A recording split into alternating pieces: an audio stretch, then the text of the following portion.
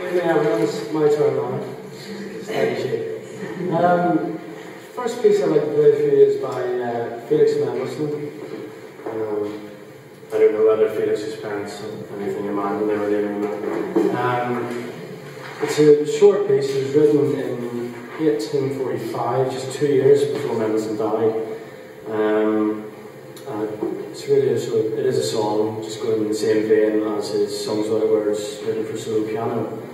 Um, it's got two very simple lyrical outer sections with a really agitated, um, dramatic central section. Um, unfortunately, it doesn't really seem to get played that often these days. People tending to go in for the bigger works, if you like. Um, and it was really, really popular during Victorian times, so hopefully you'll be able to get as much pleasure out of it as they did back then.